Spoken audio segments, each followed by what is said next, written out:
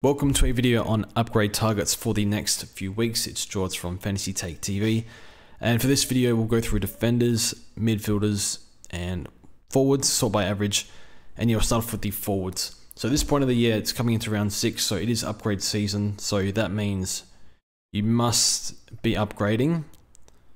So if you're thinking of doing like a double down or triple down, you know, waiting for next week, I think you, you want to get points on the field now. You want to get that rookie to a premium and get that 50, 60, maybe more uh, point buffer this week because every point counts and it's tough to tough to make up ground, especially for me.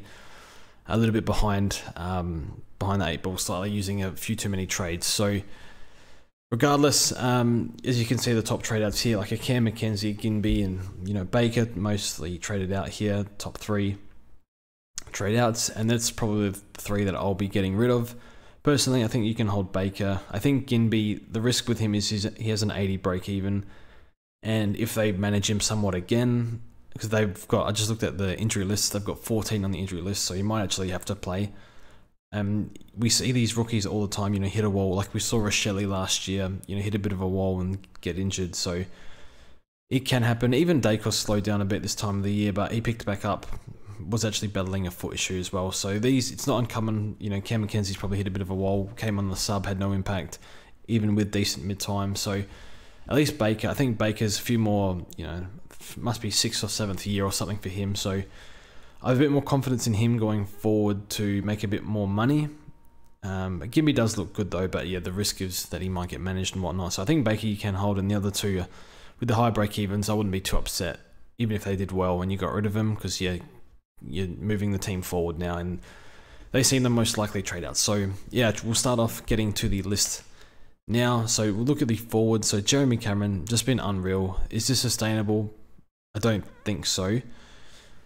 Um, I wouldn't be going Jeremy Cameron, but if you started him, I think that's great. I think you you can't pay five sixty five for a key forward, but you wouldn't like. It looks like he'll be a top six forward, but again, key forward, history of hamstrings, a bit older.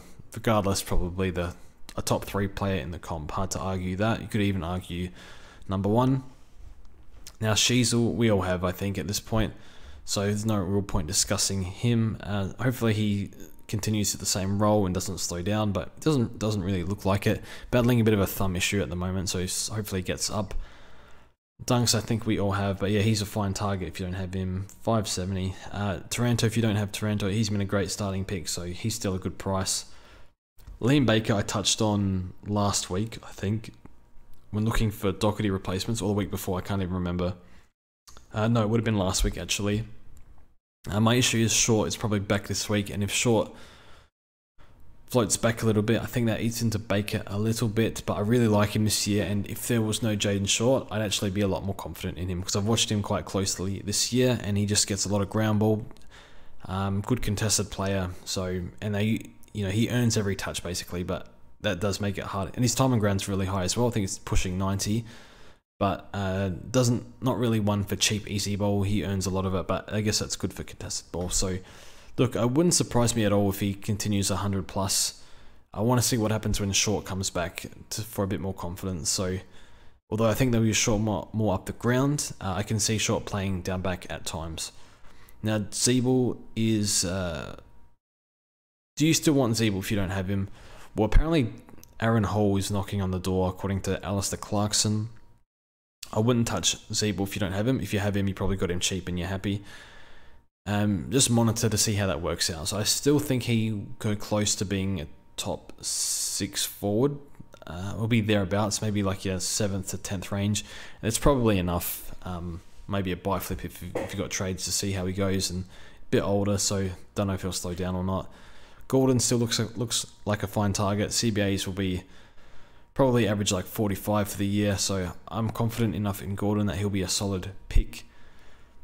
Something I probably should have mentioned um, with the forwards is Petrarca just missed out, so he could be getting it in round 12 or uh, after round 11.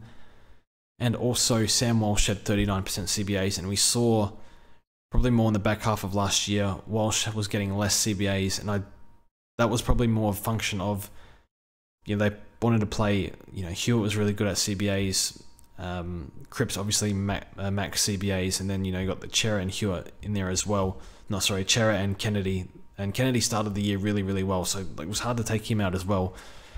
Whereas um, Walsh can effectively play wing or that link up player, so um, yeah, victim of his own versatility. So I think it's um, I'm a little hesitant to go on forwards at this point, just because if Walsh and Petrarca do get DPP in round 12, you definitely want both of them. So yeah, it's a tough one. So I am quite hesitant, but do you just take the value now, and you know you probably make up the points from now till the that round, and you know maybe they don't even get DPP. So it's a bit of a tricky one, and it's a bit of guesswork involved. So, um, yeah, I don't know. It, it's put some doubts into me considering Butters, but as I spoke about, I probably need to go more durable route. Dixon is a no, but playing well, a bit more ruck time. Dylan Moore's a star, but just no CBAs. It's you can see him regressing to like a 90 in a losing team, but you know if if we saw that CBAs spike, which I don't think will happen, just because they're trying all these kids in there, as inconsistently, it won't happen. Happened last year, and they dropped back in the last two weeks. Then he's one that you could look at if we get some indication. I think Rozee's a great target if you don't have him. And then Butters 490k. So Butters break even so he scored 140, his West Coast this week too. Break even of 50. So you probably, if you're going this week, it's if you're going to get him, it's it's this week because you'll probably go up, you know, with a ton, 20k odd, 25k, whatever it is. So we know. I think he done with he did he would have done 100 plus with like 40% CBAs last year if he didn't have a few excuse games like he was sick one game, copped a few knocks, but that's Butters, so it can be a bit of a roller coaster, but the ceiling is massive. And this 146 probably boosted. He kicked a goal um, in at the end while it was close, so got a stack of points for that. So slightly inflated score for him, but look, he could be one of the best picks of the year for sure. I think we can all see that. Do they? Do the CBAs stay at 60 to 65 percent? I think so, but it wouldn't surprise me if some weeks, a bit like Rozee, like how good, you know, Rozee's so good, but you know his CBAs dropped to 40 percent one week yeah, the um, a few weeks ago. So I can see Butters getting a few games of like 30, 40% CBA. So I can see some games him getting 70%. Just, you know, they got Wines in there, they got Horne-Francis, they got Drew, who they seem to like in there. So I can see them dropping here and there, but um, for the most part, I think they'll be much higher. You know, I think if I had to guess, probably 55, I think is fair. Um, but he looked good, so they'd be silly to really drop it. So look, if you're happy to take on the durability risk, no soft tissue, which is good. I fully endorse a Butters pick, so go go for it. Go with your gut. Cogs is an interesting one. I think the the two things working against Cogs is one GWS are no good, and two he's a little bit older. Like you can see, like Rose in Butters, your know, fifth year coming to their prime. Gordon third year, still very young though. Um, you know Dunkley in Taranto mid twenties, whereas you know Cogs, you know these guys are all for Richmond are I don't know. They'll try and make finals, obviously, which is fine, but they're not going to change too much with Taranto. Um, I don't think they'll change too much with Cogs at the Giants. They kind of have to play him in the midfield. But yeah, I think the age and the team factor works against him a little bit. So for me, he's a pass. I think at 480k, he's still a what's his break even? He's still like a decent option. 108. So the numbers are still there in terms of like disposals. The um, this, the uh, role was there as well, so he's a fine option. And then you go down the list. Uh, I'll probably just skip him. Just take twenty percent own. Just take him on. I think never twenty two, so he'll probably be a pass for me. But he he won't be far off. You got Heaney, who's uh, I don't think you can go there. He hasn't looked great this year, apart from this game. Um, there's not much else here. I think another one you want to make room for is Darcy Cameron. Probably should sort by average. Darcy Cameron is one you want for the right cover for the rest of the year. So I think you just back him in. Interrupted preseason, but looked alright. Bit unlucky with the knee. Um, so I think you back him in to play the last 12 games or whatever it is and be your right cover for the rest of the year. So I'm keen. I'll probably get him the week he comes back because his break even is 60.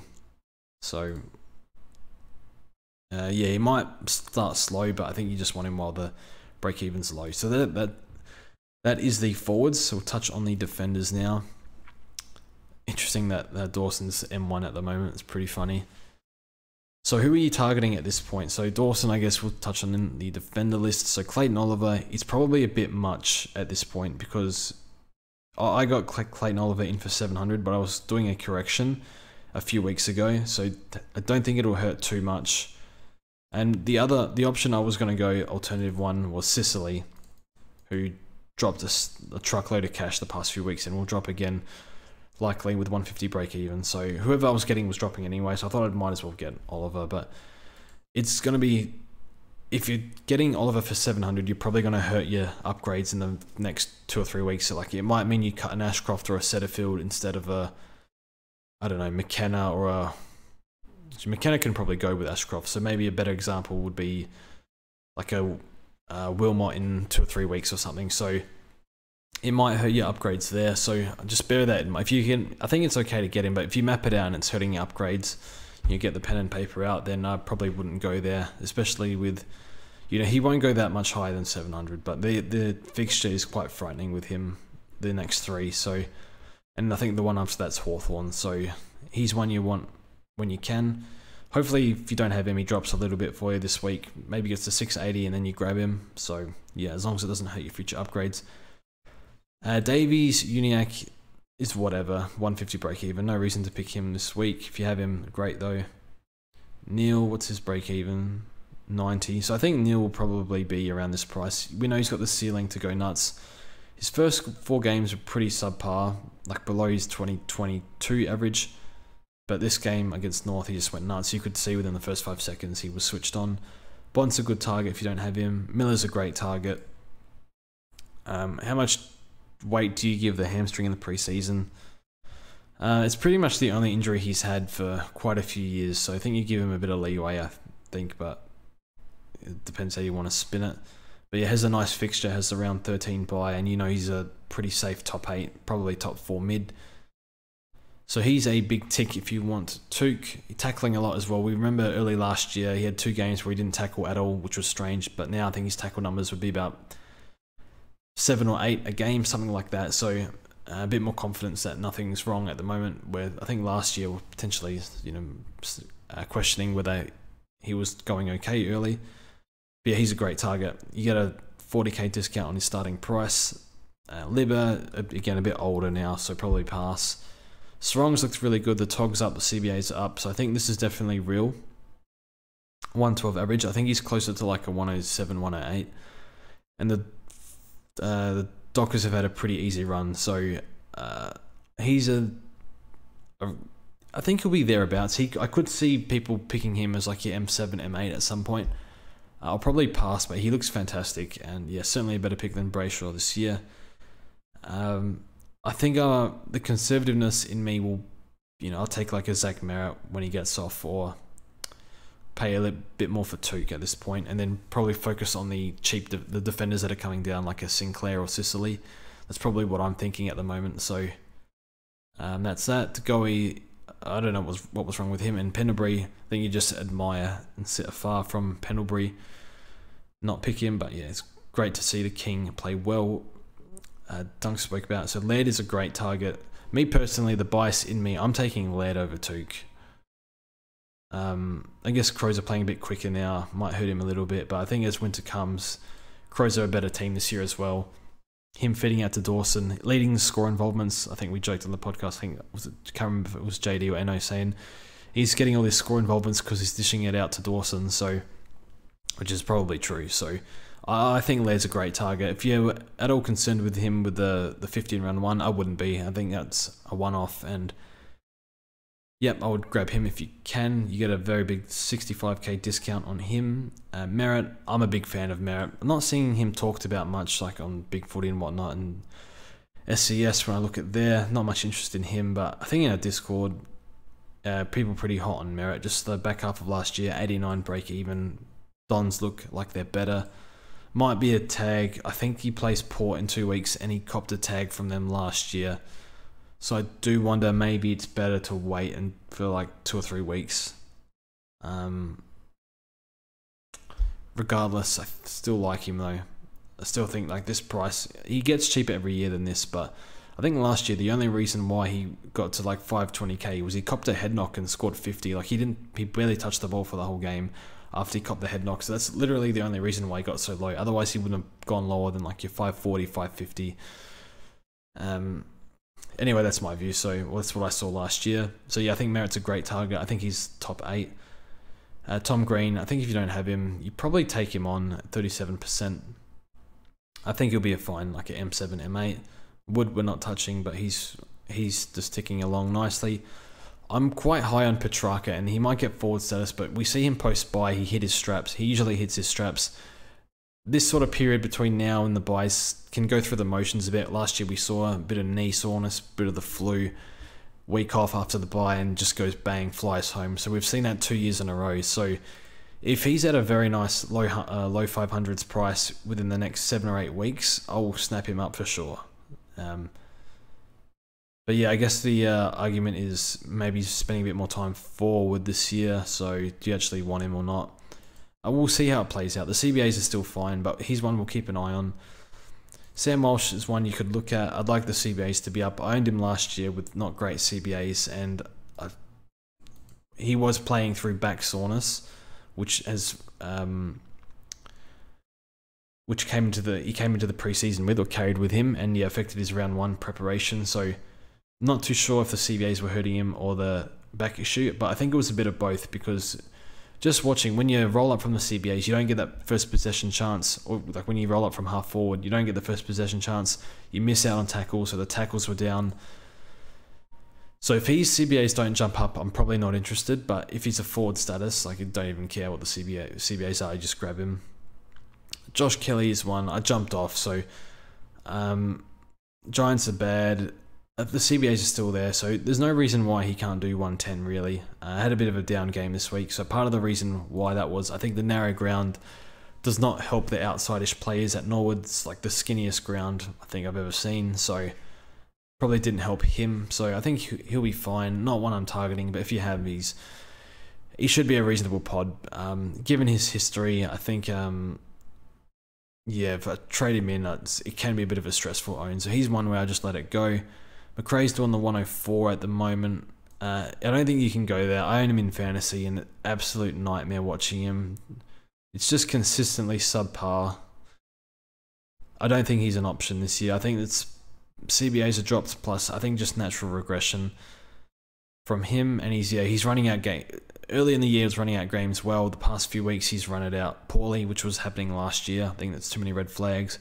Kelly's a no, Mitchell's a no, battling a back issue apparently playing through it.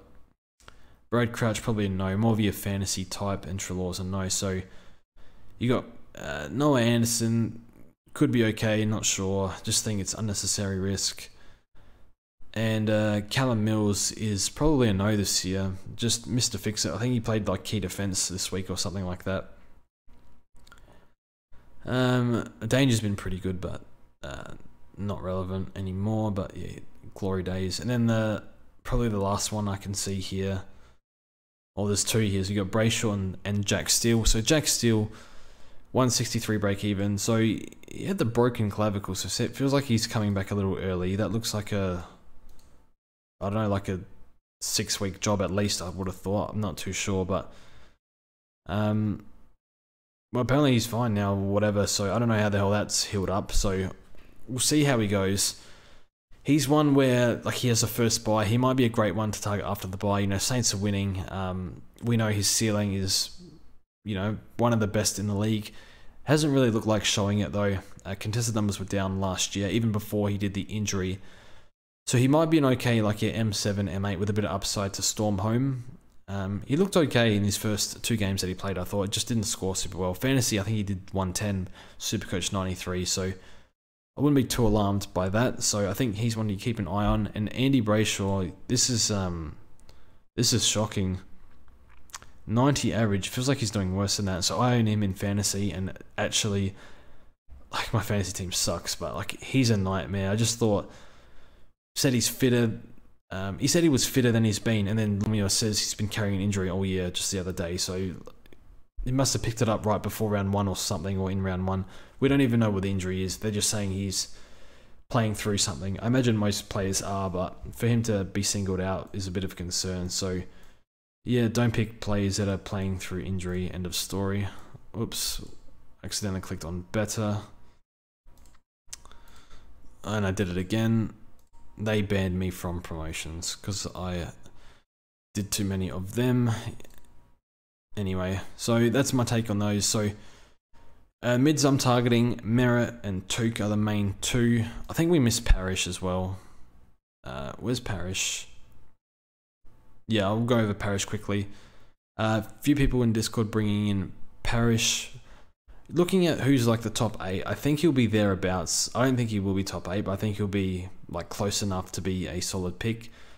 Um, the calf issue he had last year scares me a bit. Someone with low trades, um, a bit worrying. So, yeah, the numbers with Parish look pretty good on paper, like when you check Footy Wire. But I think the tackles are down. That might be a function of Setterfield coming in having seven tackles a game, and then uh, his marks are also down a little bit as well. Oh no, sorry, the marks are up, so less more more uncontested stuff. Contested rate's really good. Contested ball, 14 a game, really really strong getting 30 a week in his in his sleep basically. So I think Parish is fine. He's not for me though. I'm more your um I want Par I want Merrett, I want Touk. I want Neale, and then I'll probably go for like a Petrarca or Steele as the final one. I think that's sort of what I'm what I'm looking at personally. Um, but Parish is one that could go on a nice run. But yeah, he's also had a pretty easy fixture, so there's enough there for me to say no to Parish, but I think he'll be okay. And we'll look at the defenders. So I think Daicos, like this is still value, break even 75. So I think you got to you got to get him in if you don't have him. It's it's the worst player to not own in the league by far. It could be even Dawson up there. So Dawson's technically still value if you think he's going to average what he's been doing in the midfield. Uh, what does he do in the midfield? We've only seen two weeks, but I think he's going to score well. I think he does you know the score involvements. You know you kick inside, you hit a target inside 50, you get so many points for that. He tackles, contested marks. It's just incredible. So um, yeah, I can't speak highly enough of Dawson. Do you pay 655 for him? Probably not if you if it's hurting future upgrades though. Similar with Touk, I guess. Um, Saad, if you have Saad, I think you just hold. Um, I guess the uh, hamstrings kind of scared people off now, and it has scared me off for sure. But I think he'll be a nice pod if he doesn't redo the hamstring or anything. Might even play this week. It was just a bit of tightness, so it might be just a one weeker. Now Lloyd and Baker, I think we touched on Baker before. So with Jake Lloyd, we're speaking about this on the podcast. I think this is real personally, but I don't know for sure. And for that reason, I'll probably look elsewhere. So I think this week I'm bringing in Jack Sinclair now that Merrett is um is suspended. As you can see, like Rampy and Blakey. Blakey's probably their main distributor, to be honest. Um, but Lloyd's been solid back there, both getting even kick-ins. So we saw Lloyd's done like he's done 120, he's done 107, he's done 108, he's done like 100 plus heaps of times. So it might have just been an, an, anomaly last year. I think that we were thinking that they're just moving the ball quicker with Don Pyke sort of coming to the club a few years ago and, you know, changing them more aggressive off halfback, you know, more down the corridor. You know, you saw Jake Lloyd of old, Mark, chip sideways, you know, chip, you know, Holt play, chip through the corridor, hit those 45 kicks. Um, still a little bit of that. I still think he's still very stop start when I watch him play. But he's I don't know what it is. He just seems to be playing well, getting more of the ball. So um, it's a hard one. I think he'll be. I, it wouldn't surprise me if he's top six, and it wouldn't surprise me if he's better than Sicily. As silly as, silly as that sounds, I'm probably still back in Sicily from here though. Um, that I might look silly saying that um, Lloyd over Sicily, but I still yeah, I'm still back in Sicily from here. I think he's not too bad, but I think you just pay like I don't see him getting much higher than 550 on a regular basis for the rest of the year. So he's one you could look at after his buy, I think. Um, just making sure that he's going to continue this form. But like all these Sydney, even Florent, I think Florent had a role change a little bit as well. So it doesn't seem sustainable to me, but I'm not too sure. So I'll, I'll look elsewhere. But I think I think the pick will more likely work than not. You got Will Day, so Will Day's an interesting one. Oh, Tom Stewart as well. Stewart's a fine target. Uh, what's his break even? 120. So he's probably going to be 600. He'll have a spike game maybe and go to like 630, 640, but um, might have a few like 100, 110s, which is perfectly fine still. and just sort of hover at the price. So yeah, Stewart's a solid target this week. Uh, it's annoying he went up like what do you got 28k this week. Uh, Will Key key defender, he's a no no kick in, so but still I think yeah, just admire playing really well, probably all Australian at the moment. Probably could be captain over Steele, but um, love Steely too. Will Day is an interesting one. So his last three have been midfield, and the CBAs went up. I think it was eighty. Was it one thirty nine where that went to eighty percent? I can't remember. So he could be a 70 80% CBA mid. He's the main guy in there. Annoyingly, like Worpel got a big bump because of this suspension, so it is what it is. But after trading him, but um, it's whatever. Um, do you go for Day? Well, yeah, three run average one one four, and two of them were in bad losses. One to Geelong, the other to Sydney. So he's proven he can score bad in losses. He looks fantastic. Strong, strong inside game, strong outside game. Uh, not super strong inside, but looks really good in there. Like moves well, good in traffic. Um, yeah, probably going to get a big payday. Oh no, he's already signed, I think. So I wonder how much he got. Would have been a nice one, I think. Is he better than your like your Sicily and Sinclair?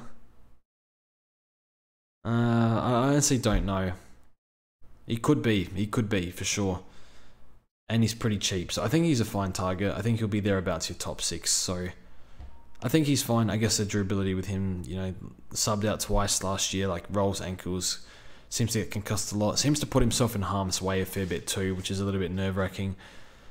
But I think he'll score enough to be like a top 10 defender. Cox, you don't go. And then you got the next two of Sicily and Sinclair. So these two, just because of what they did last year, and there's been a little bit of excuses as to why they've slightly underperformed. So I think Sinclair's been put in the midfield more without Steele, and that's seen him drop a little bit. Seems to score better off half back, but also he's lost kick ins to Wangan and Miller. I think it seems to be a 50 50 split, whereas I think Sinclair was about 70 30 with others last year. So might lose six to nine points a game, which is a bit annoying, but I still think he can do your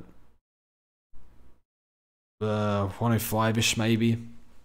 Got that high ceiling of, of halfback too. So hopefully with Steele back this week, as what uh, Ross said. It says he's a test on the injury list, but Ross said he'll play, so hopefully he comes back for Sinclair's sake.